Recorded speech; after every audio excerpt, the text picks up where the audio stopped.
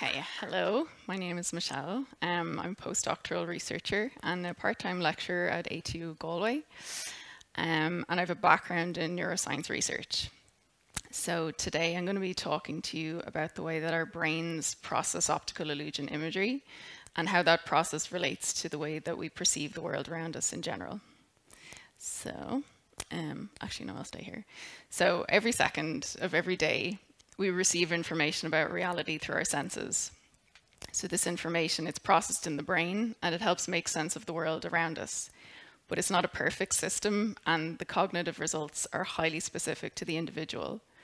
So brain regions associated with attention and anticipation and memory, they contextualize information about our present reality from our past experiences. So optical illusions, they give us a small insight into how our brains perceive reality.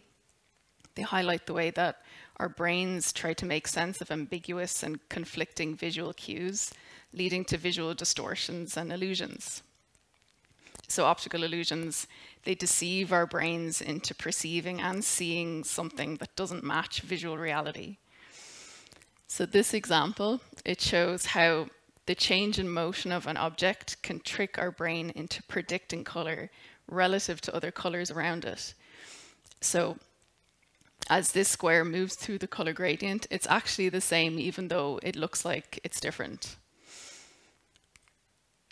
So what exactly is happening in the brain when we view an optical illusion? so optical illusions, they affect our visual cortex, which is in the back of our head the visual cortex, it predicts a visual story about reality. But this prediction system, it extends to other regions of our brain. So our parietal lobe makes spatial predictions and our frontal lobe makes predictions about anticipation and decision making based on our past experiences.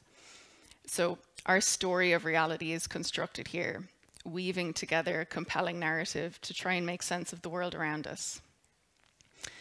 Um, so optical illusions, they teach us an important lesson that even when you're informed about the reality of an image, you'll st still see its illusionary form. So this optical illusion demonstrates how the change in light of an image can trick your brain into perceiving motion. So even though this image is static and we know it's not moving at all, we'll still see it moving anyway. So our ears are as easily tricked as our eyes. Um, this auditory illusion I'm going to show you now is called the phantom words illusion.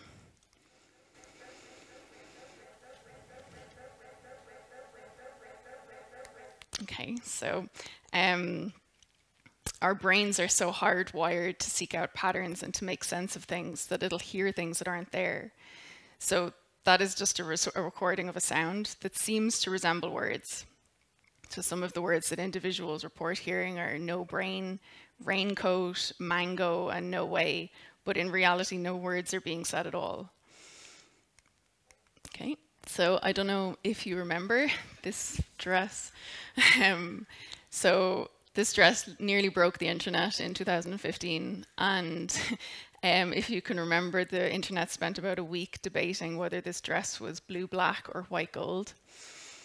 So the dress was actually blue black, which I genuinely still don't believe, even though there's evidence. um, but because of the conditions in which the photograph of the dress was taken, it caused many, like me, to perceive the dress to be white gold. So a neuroscience study listed here, it aimed to assess the roots of the visual perceptual differences in 13,000 individuals viewing this dress online so this study, it found that um, individuals that spent more time awake during the day, also known as morning larks, they uh, the dress to be white gold. And then individuals that spend more time awake at night, also known as night owls, they perceive the dress to be blue black. So the study concluded that um, the visual perceptual differences, they were down to assumptions. So individuals or morning larks, they assumed that the dress, the photograph of the dress was taken in daylight, whereas uh, night owls assumed that the photograph of the dress was taken under artificial lighting. So these two groups of individuals saw the exact same dress and the exact same color, but from completely different perspectives. So I'll show that in a sec. Um, so why does our brain make assumptions? The answer it lies in adaptation. So it takes our brain, our brains, a couple of hundred milliseconds to process what's happening in reality in real time. So to demonstrate our the delay in our visual system, this illusion is known as the flash lag illusion. So you can see a red dot runs along the screen. And a green dot, it'll only appear when it's in perfect alignment with the red dot. But because of our perceptual delays, we'll always perceive the green dot to be slightly behind the red dot. So in a sense, you could say that our brains actually live slightly in the past. But if we always lived in the past and we had delayed reactions, we wouldn't be able to carry out immediate tasks, we'd be less coordinated, and we'd make more errors. So this is where our brain's prediction system comes into play. So our brains have cleverly adapted to our slightly lagged sensory systems by being able to predict the next most probable outcome. So being able to make predictions and assumptions, it allows us to um, respond effectively to our surroundings and it enhances our capability to navigate the world. So our brains are constantly predicting our future relative to our past. In another sense, you could say that our brains live in a constant state of mental time travel. But the trouble with predictions and assumptions is that they're based on our life experiences, which can be misinformed, inaccurate, biased, and lean more towards falsehood than truth.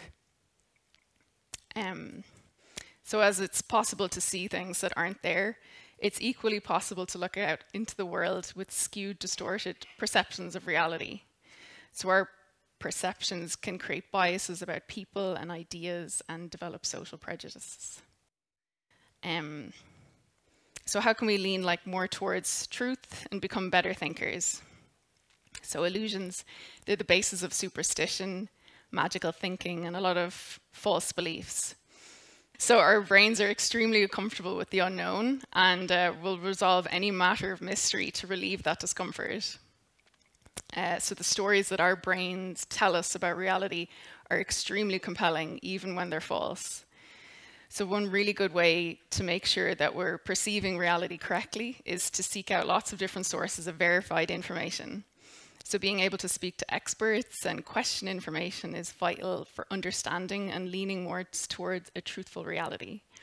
So seeking out other perspectives not only fine tunes our perception of reality, but it also practices empathy because it's really common to not agree with everyone's interpretation of reality. Understanding others helps to give an insight into their perspective, but also develops compassion within ourselves. So however convincing our predictions about reality might be, optical illusions and the way that our brain is tricked by light are little reminders that things are not always or exactly as we perceive. That's it.